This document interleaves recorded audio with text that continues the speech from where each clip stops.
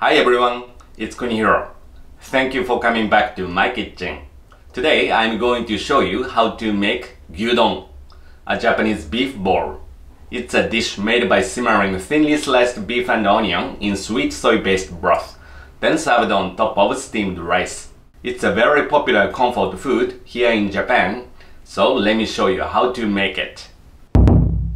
Alright, so these are today's ingredients. By the way, today's recipe is for 2 to 3 people. So here, I have 300 grams of thinly sliced beef and 1 big onion. And here is some salt. I'm going to use a little bit of it when I cook the onion. And here are the ingredients for the broth. So I have 400 milliliters of water, 1 tablespoon of hondashi instant dashi powder, 3 tablespoons of soy sauce, 3 tablespoons of sake, 2 tablespoons of mirin, 1 tablespoon of sugar, and 1 big piece of fresh ginger. And these two are common toppings for gyudon. This is benishoga, which is red pickled ginger, and this is shichimi togarashi, which is Japanese seven spices. These two are commonly served on the side, allowing you to add them as toppings if you want to enjoy a change in taste. But these two are totally optional. Today's gyudon will be delicious without them. So first, let me talk about beef. I assume some of you watching this video have tried making gyudon before, but the meat became tough and dry and not very tasty. I think this is because you used meat with less fat. The ideal meat for making delicious gyudon is super thin sliced beef with lots of fat like this one. In Japan, this type of beef is called gyubara, meaning beef belly. It has plenty of fat and red meat itself is tender.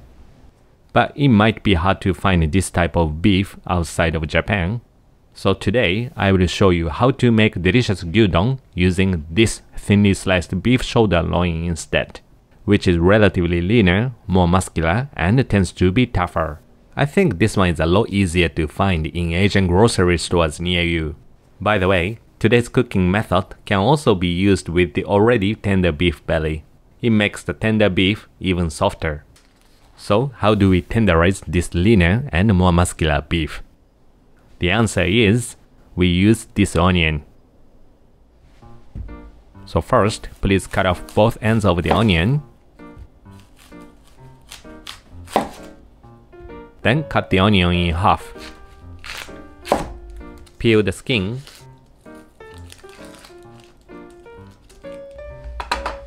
And grate half the onion.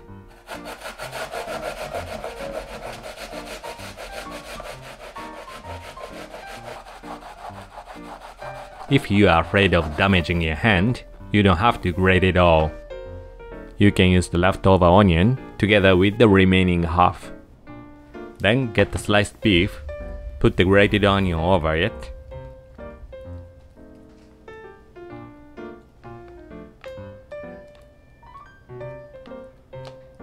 And mix them gently with your hand.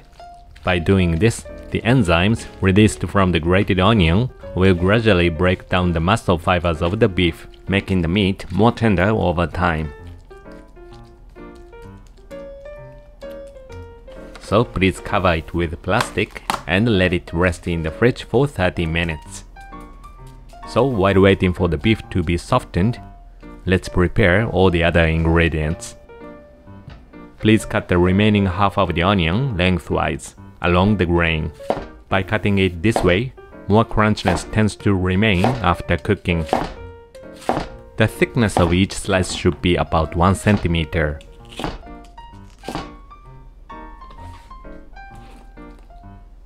Also slice the leftover onion from earlier. And after cutting, please separate all the layers, so they will cook faster in the pan. Alright, the onion is done. Next, let's cut the ginger. Start by slicing the ginger thinly. Then line them up like this and cut them into thin strips.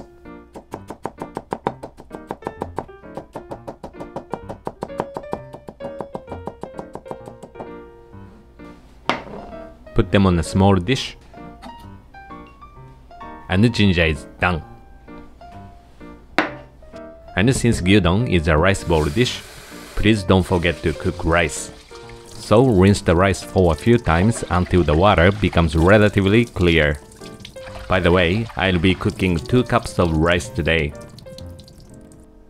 And when cooking rice for rice bowl dishes, I recommend cooking it with slightly less water. This way, the rice won't be mushy when you pour flavorful broth over it. Turn on the rice cooker, then your rice will be ready before the gyudon topping is done. 30 minutes later, please take the beef out of the fridge. And your beef will look like this.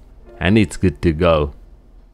Okay, now that we have finished all the preparations, let's start cooking. Please get a large frying pan. I'll be using an 11 inch pan today. Then add 1 tablespoon of vegetable oil to the frying pan and turn on the heat to medium. And once the frying pan has become hot and the oil has become runny like this, please add the onion to the pan.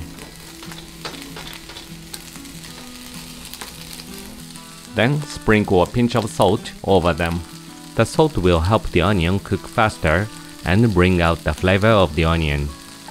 And we'll saute the onion slices until they become golden brown. Browning the onion slices will bring the best flavor out of them. To make a delicious gyudon, it's crucial to ensure the onion becomes just as flavorful as the beef. If the beef tastes great but the onion doesn't, your final product will be disappointing. And to achieve a beautiful browning at this stage, please do not touch them too often so I recommend flipping them only once a minute.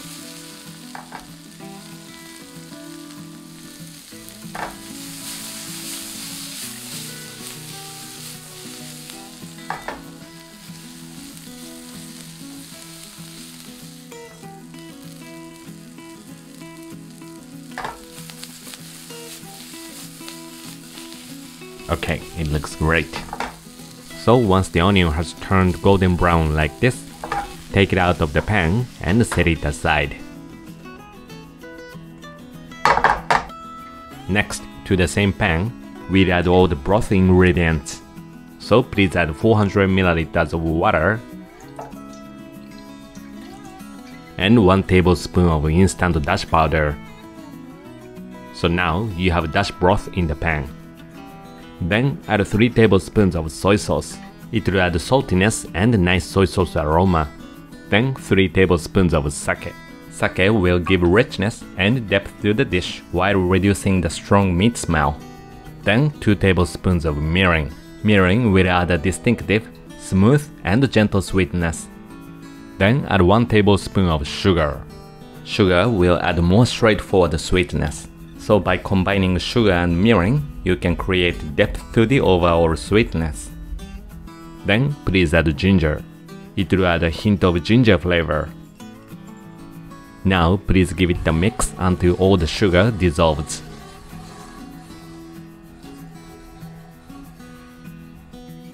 And once the sugar has dissolved, turn the heat to medium and add all the beef slices and grated onion to the pan.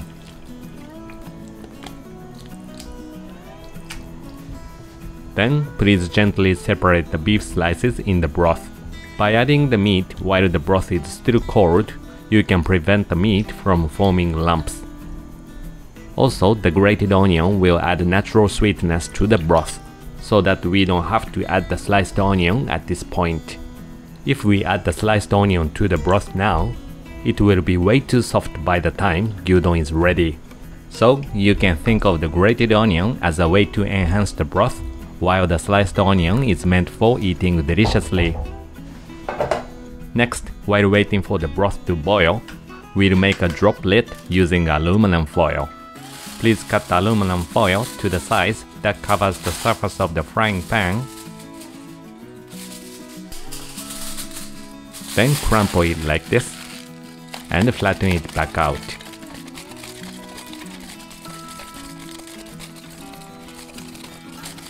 Finally, make a hole in the center and a few more holes like this.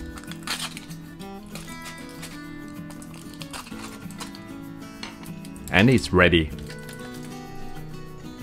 Now let's get back to the pan. And when the broth starts boiling like this, turn the heat to low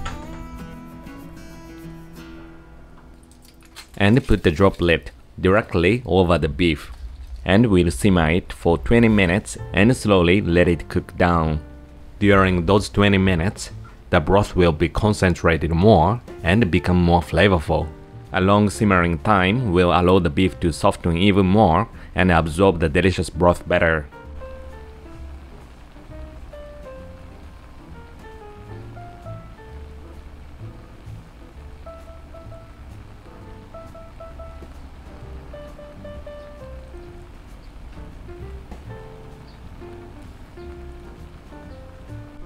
By the way, at this point, the heat should be around this level and your broth should look like this under the foil with a slightly bubbling surface.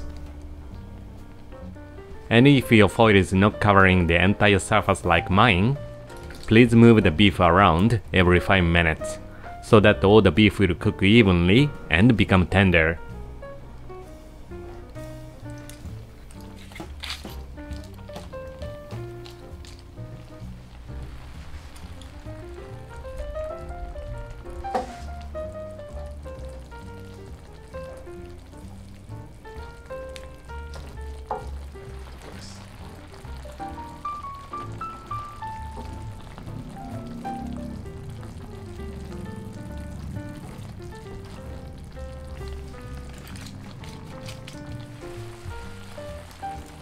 After simmering for 17 minutes, please add the sliced onion you cooked earlier.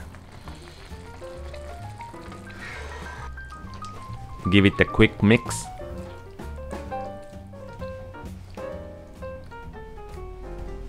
And continue simmering for just 3 more minutes.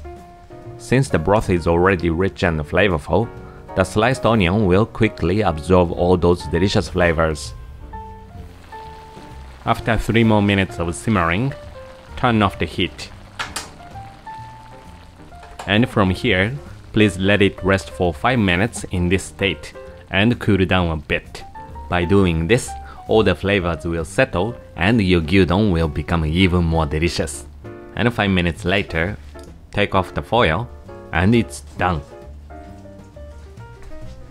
So please get a big bowl of rice and top it with lots of beef and onion.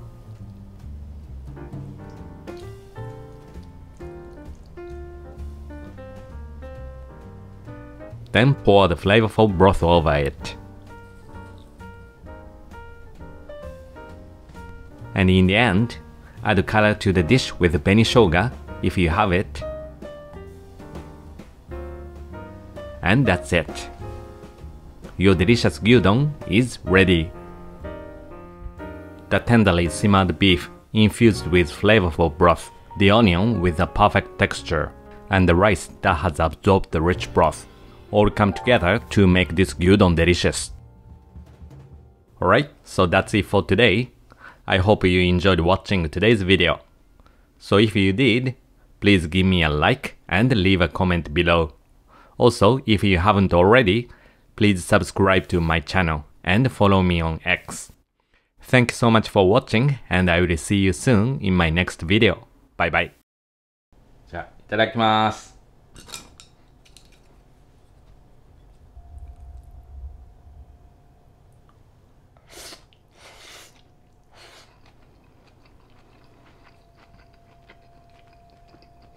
うん、美味しい。